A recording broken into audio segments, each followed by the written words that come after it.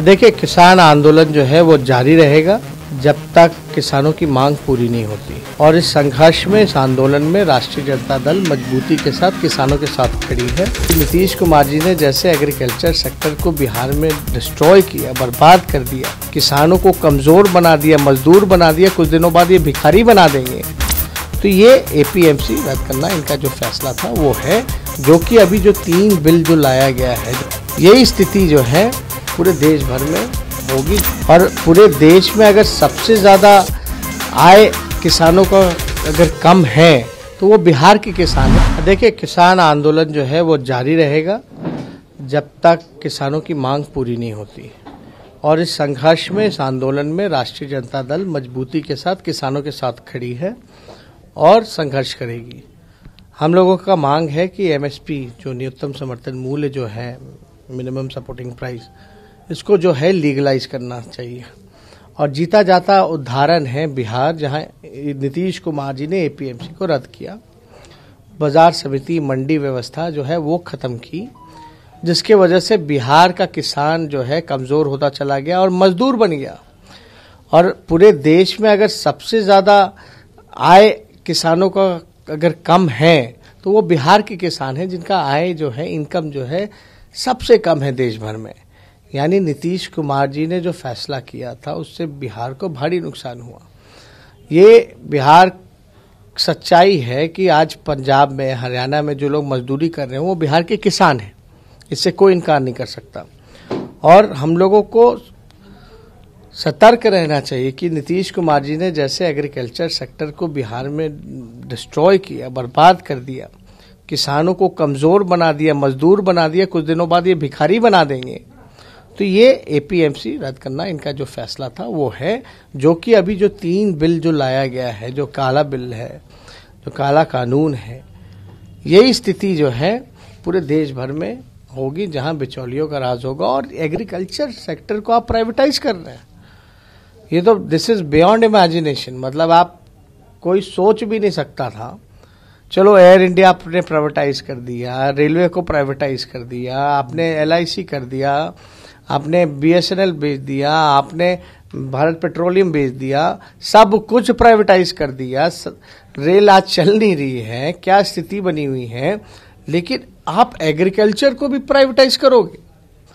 तो this is beyond imagination ये कोई कल्पना भी नहीं कर सकता था कि इस हद तक, इस तानाशाह रूप में ये सरकार जो है, ये काला बिल लाएगी।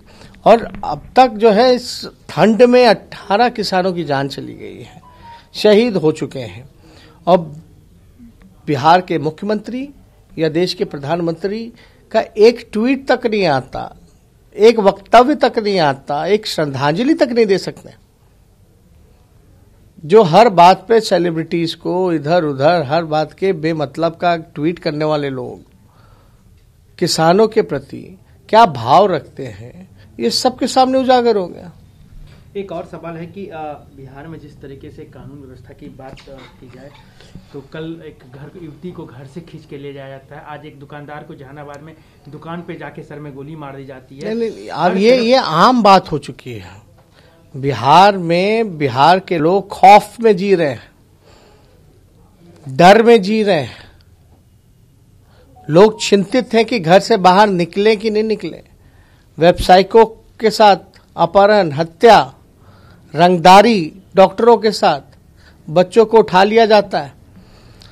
दिन में 25-24 हत्याएँ हो रही हैं। दिन भर में कम से कम जो है पाँच से छह गैंगरेप हो रहे हैं। और मुख्यमंत्री इसमें चुप्पी साधे हुए ही। Is the home minister also गृह मंत्री भी है। और चुप्पी साधना। तो बिहार में लॉ एंड ऑर्डर तो पूरी तरीके से खत्म हो चुकी है। यहाँ सिर्फ़ और सिर्फ़ गुंडा राज कायम है।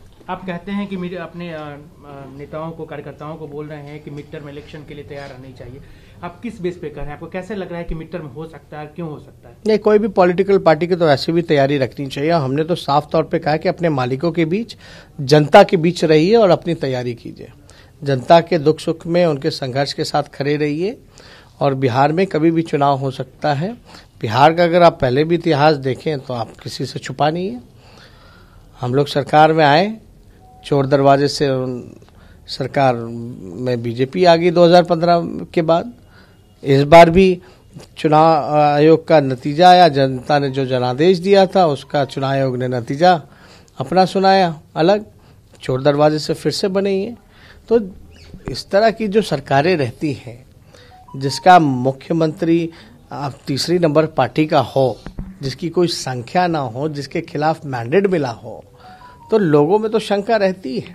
तो इसलिए हमने कहा कि भाई जो इतिहास भी रहा है चार सालों में चार सरकार आपने देखा तो उस हिसाब से हम सब लोगों को अपनी तैयारी रखनी चाहिए। क्या लग रहा है और कोई कई जो एविडेंस हम लोगों के पास आए थे काउंटिंग के दौरान उसको लेकर के हमारी पार्टी के प्रत्याशी जो है हाईकोर्ट गए हैं। हाईकोर्ट में केस जो है एडमिट हुआ है।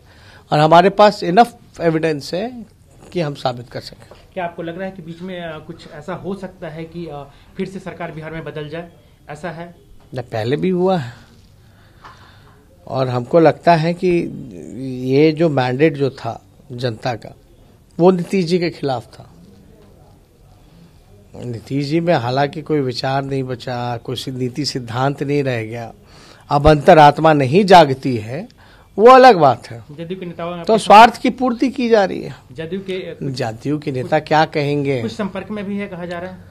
नहीं नहीं कोई अभी ऐसी कोई बात नहीं है। हम लोग इसमें अभी कोई इस पे चर्चा नहीं है। एक अंतिम सवाल बंगाल में चुनाव लड़ने जा रहे हैं और अगर नहीं लड़ने जा रहे हैं तो किसके साथ लड़ेंगे? किसको समर्थन देंगे? नहीं इसमें तो हम लोग देखिए अभी पार्टी फैसला करेगी राष्ट्रीय अध्यक्ष जो निर्णय लेंगे वो होगा। लेकिन ज़्यादा बेहतर ये होगा कि अगर क्योंकि कांग्रेस और लेफ़्ट पार्टी जो है, बिहार में हमारी उनके साथ अलायंस है।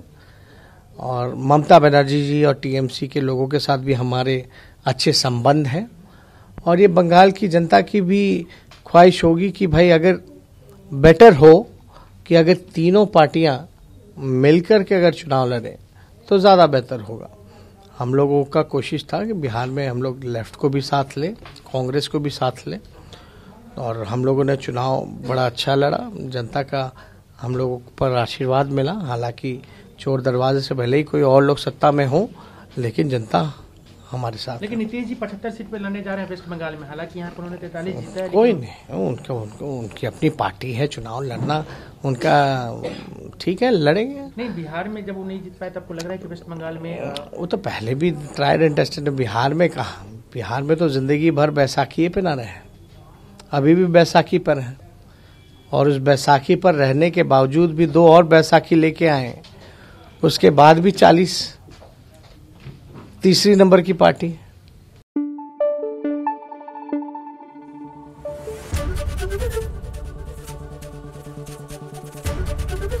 एबीपी न्यूज़, आपको रखे आगे।